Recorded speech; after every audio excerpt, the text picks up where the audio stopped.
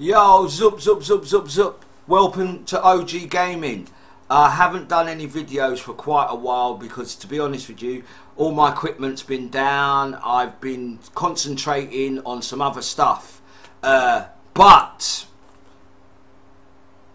all I can say, people, is sometimes it's worth being a nerd gaming. Right.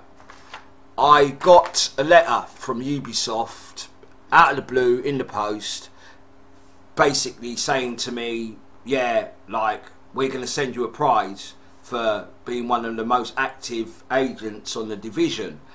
Basically, when the game came out, I got onto the UK servers at like half past four in the afternoon, where we weren't supposed. I wasn't supposed to be able to get onto the servers till midnight, so I got a heads up anyway. So I was playing from early. But um, ah, big shout out to my boy Mendez you know what I mean? It was through his help, like, because he managed to get on, and then he sent me the code for his setup so that I could get on. Um, but it boiled down to basically, as you can see, I received like a box, a supply drop, as it says, a box with this letter inside it, as you can see from the divisions. Yep, yep, me dear Mr. OG River. Right, I basically, that came in and it came in, I will show you, as you can hear, hear all the stuff rustling around, it came in this box. Yeah, came in this box here. Right, and inside this box that I got was,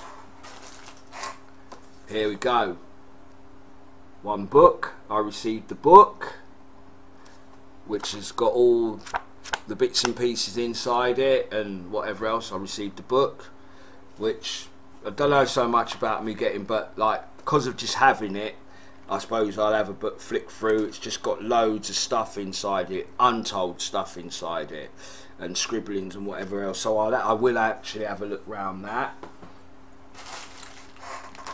This is one that went down well for me because I'm a beanie hat kind of guy and everything that lot. But the same little beanie hat that you see in the game and everything and that, there you go.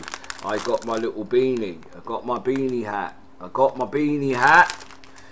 Right, I received that. Also, which made my day again because I'm a hoodie kind of guy and everything. There you are. Division's Tom Clancy hoodie as well and everything. Also, got the t-shirt and everything. Got the t-shirt. See, sometimes it does pay to be a bit of a nerd and be on a game for days and days and days to get yourself up front above above everybody else. Everything. But the icing on the cake, the icing on the cake. There you go. I got the Divisions watch. Yes, people, the Divisions watch.